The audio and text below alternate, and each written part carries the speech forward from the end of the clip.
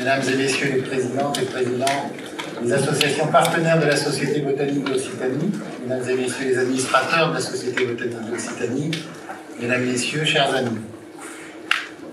Alors, dans toute manifestation, il y a des imprévus. Euh, cette manifestation devrait être ouverte par le maire de Montpellier. Nous venons d'avoir une information selon laquelle il y a eu, on va dire, un petit raté de protocole.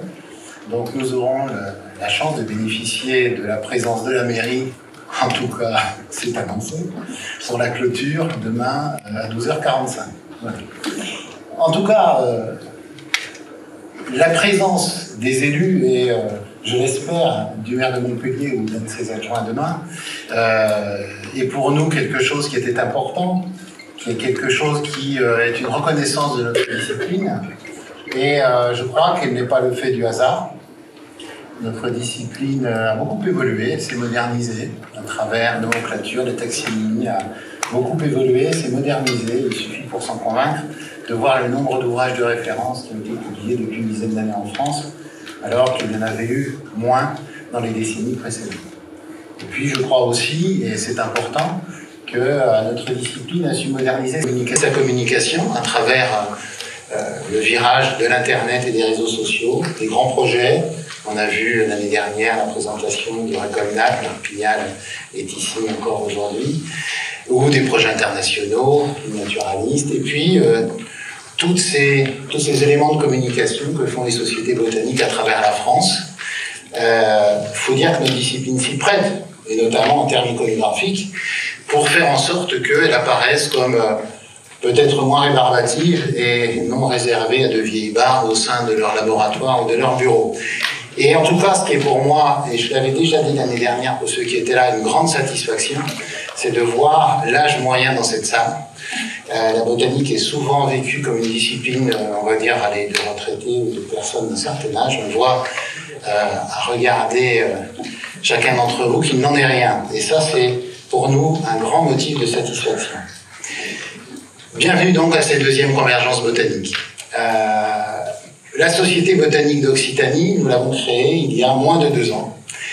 Et euh, on était relativement nombreux, on était très motivés. On a voulu mettre en avant un certain nombre de projets euh, qui ont abouti pour la plupart d'entre eux et qui vivent.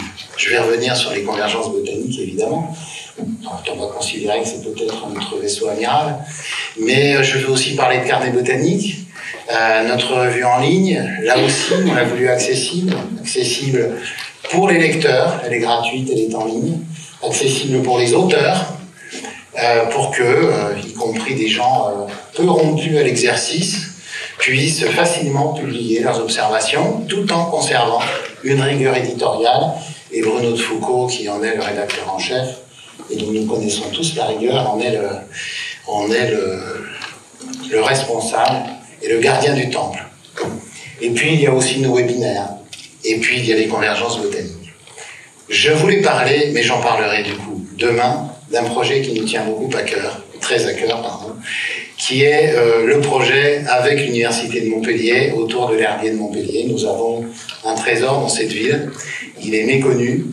Il est méconnu car il est peu accessible. Il est méconnu car, euh, et je sais l'investissement de l'université, monsieur le vice-président, je sais euh, toute l'attention que vous y portez, que le président Auger y porte, mais il est vrai que les besoins financiers nécessaires à une opération de grande ampleur pour réhéberger cet herbier dans un autre écrin, euh, ben, ne sont peut-être pas aujourd'hui dans les moyens seuls de l'université, et j'espère, et j'espère avoir l'occasion d'en parler demain, que la mairie de Montpellier pourrait être, avec l'université, un allié majeur pour nous permettre, vous permettre, de déplacer cet herbier afin que chacun d'entre nous et plein d'autres gens qui ne sont pas là aujourd'hui puissent le consulter dans de bonnes conditions et que nous puissions être sereins quant à sa conservation à long terme.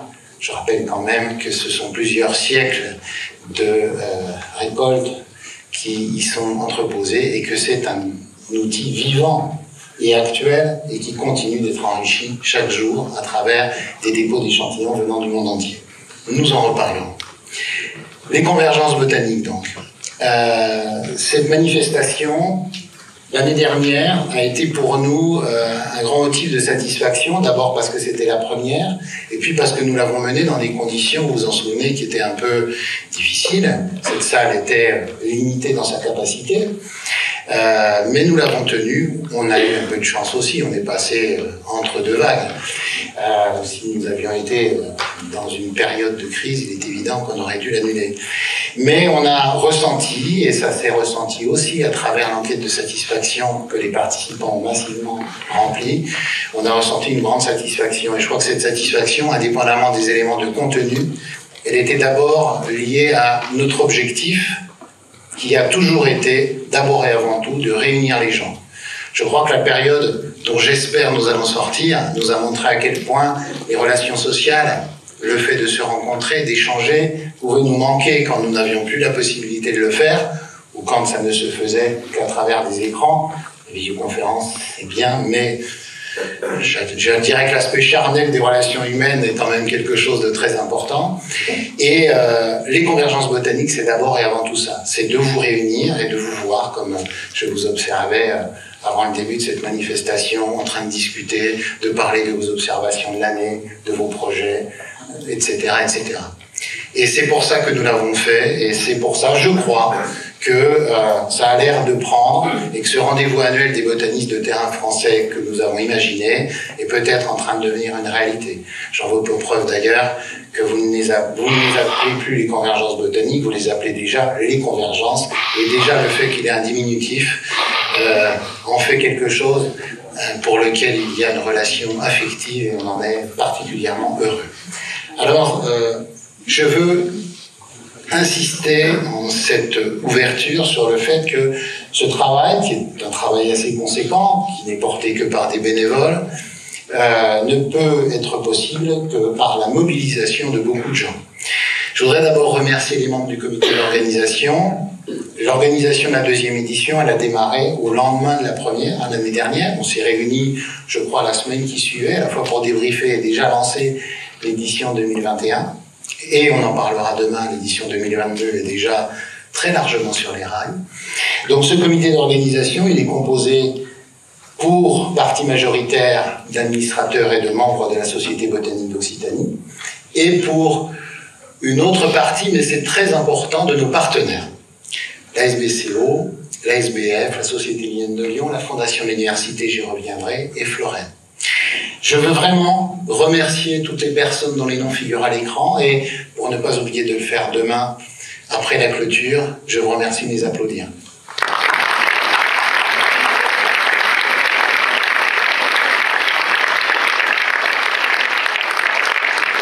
Merci pour eux. Nous avons de nombreux partenaires pour l'organisation de cette réunion. Le partenaire qui reste pour nous, le partenaire principal, qui est depuis le début de l'ASBOC, qui nous a beaucoup aidé pour euh, démarrer tout cela, qui nous a aidé aussi financièrement pour euh, créer le site internet et euh, lancer ce projet, c'est l'université à travers l'université elle-même et la fondation de l'université. Et je crois qu'il est très très important de le souligner. On va être très trivial si aujourd'hui cette manifestation peut se faire dans ces conditions et gratuitement c'est bien parce que, par exemple, la mise à disposition de cette très belle salle nous est proposée par l'université à un prix, je dirais, symbolique et qui est très loin du coût réel euh, que nous avons normalement à imaginer pour organiser de telles manifestations. Nous avons des partenaires euh, importants dans d'autres régions qui, depuis le début, nous accompagnent c'est la Société botanique de France, Elisabeth de Dinet, je ne sais pas où Elisabeth parlera tout à l'heure pour nous présenter la SBF. Et puis des partenaires qui ont eu l'occasion de présenter leurs activités l'année dernière, Florène, la Lienne de Lyon, de Provence, la SBCO et la Société botanique de Franche-Comté. Et puis nous avons des partenaires en région. Un des objectifs de l'ASBOC a été d'emblée de fédérer l'ensemble des associations de botanique de la région Occitanie. Certes, nous assumons notre vision non pas euh, montpelliéraine au sens hégémonique, mais montpelliéraine au sens du poids historique de la, de la botanique en Occitanie, pour lequel la ville de Montpellier a euh, un poids considérable, mais ça n'était pas l'idée. L'idée, c'était de fédérer les acteurs et, à de très très rares exceptions près, toutes les sociétés naturalistes et botanistes de la région sont partenaires de la Société botanique d'Occitanie et de cette manifestation. Je veux souligner la présence et le partenariat, parce que c'est très important pour nous, des deux conservatoires botaniques nationaux qui sont présents sur notre territoire.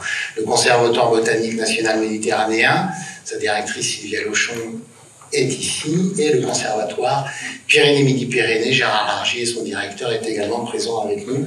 Merci à eux deux. Je crois que pour une société euh, comme la nôtre, avec euh, un positionnement régional, le partenariat et le développement d'actions avec les conservatoires est tout à fait essentiel.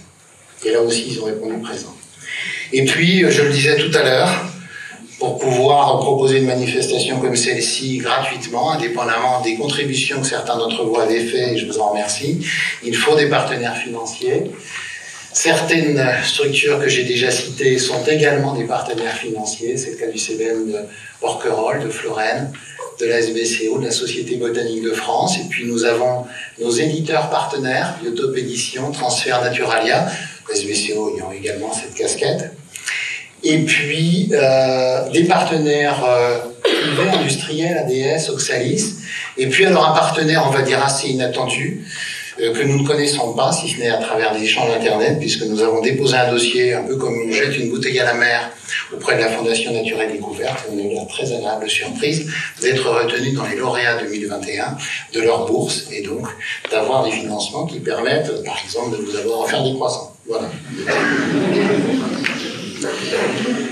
Je disais que cette manifestation est en train de prendre une tournure fort sympathique. Voilà d'où vous venez. Euh, on voit que euh, nous sommes très largement au-delà d'un rayonnement occitanien. Et comme vous le voyez, progressivement, euh, la carte des participants remonte vers les régions les plus septentrionales de notre pays. Et nous avons même un Espagnol qui interviendra tout à l'heure, en français, mais j'y reviendrai, des Suisses et un Hollandais. Donc vous voyez, on, commence à, à, franchir même les frontières de l'Hexagone. Voilà. Deux mots très concrets sur l'organisation. Euh, de la manifestation. Euh, je prends un peu de temps puisque on a un quart d'heure, alors on va pas le prendre complètement, qui doit être occupé juste derrière et qui évidemment ne le sera pas. Euh, donc, dans cette salle, évidemment, je vous remercie de conserver le masque pendant la totalité des débats. Je vois qu'il y en a qui rigolent là-bas. Ouais, désolé, hein, c'est les règles. Non mais Très sérieusement, nous avons pris des engagements vis-à-vis de l'université, propriétaire de cette salle, c'est tout à fait normal, et nous devons les respecter, c'est la moindre des choses. Et de ne pas amener de consommation euh, ni boisson, euh, ni euh, aliments. Vous avez, pour ceux qui ont réservé pour le repas de ce midi, dans vos dossiers, un petit ticket qui vous permettra de quand on sera au restaurant tout à l'heure, euh, de pouvoir participer au repas. Tout ça, c'est uniquement pour les gens qui ont réservé le repas. Et vous avez également des tickets pour les gens qui ont réservé pour les visites qui seront menées au Jardin des Plantes à 19h, puisque nous avons la chance de pouvoir bénéficier de deux visites au Jardin des Plantes. La visite de l'orangerie, qui a été complètement rénovée et qui sera animée par le professeur Alain Bertrand, directeur du Jardin des Plantes, et euh, la visite de la serre Martins des Cactés. Euh, donc, je, ne sais plus, c'est pas Monsieur Spic finalement qui animera, mais voilà, Monsieur Morisot qui l'animera. Voilà, donc là aussi, le nombre de places a été limité. Donc vous avez, pour ceux qui ont réservé, des tickets, pour ceux qui ont réservé euh, pour ces visites. Alors, ne vous battez pas, nous aurons sans doute la possibilité d'avoir trois places supplémentaires par rapport à des désistements pour chacune des deux visites. Donc éventuellement, si des personnes non inscrites sont intéressées, euh, à la pause ou, à la mi-journée, vous, pourrez vous rapprocher de, moi et on, pourra vous intégrer. Voilà, il n'y en aura pas pour tout le monde, hein, soyez clairs. Sur la journée d'aujourd'hui et de demain, il y aura des pauses, bien sûr, et nous avons des partenaires éditeurs, je les ai cités. Ils sont installés sur la mezzanine, ainsi d'ailleurs que les posters qui sont présentés. Et donc, euh, euh, le régisseur de la salle a accepté que euh, vous puissiez consommer votre café, votre thé, etc., tout en restant à l'intérieur du bâtiment et donc en visitant notamment les stands d'éditeurs. Ce sera d'autant plus important que si aujourd'hui, apparemment, nous aurons de beau temps, demain, il est fort probable que ça ne soit pas tout à fait la même mayonnaise et que on essuie euh, quelques précipitations, voire des précipitations quelque peu conséquentes. Voilà donc pour les éléments d'organisation. Je voudrais donc euh, vous remercier une nouvelle fois pour votre présence. Vous souhaitez d'excellentes convergences botaniques. J'ai un privilège, c'est que j'ai vu les diaporamas de tous les intervenants. Je suis le seul à ce stade dans ce cas. Et je peux vous dire qu'ils ont tous beaucoup travaillé pour vous présenter des interventions de grande qualité. Je ne vais donc pas passer la parole à Monsieur le maire pour ouvrir, comme cela a été prévu, la session, mais euh, appeler Eric Imbert pour la première intervention. Et comme l'année dernière, nous allons démarrer par l'Aude, puisque l'année dernière, Clémentine Plassard nous avait présenté l'Atlas de l'Aude, et nous allons encore parler de l'Aude euh, cette année à travers un travail sur la centaurée de la clap.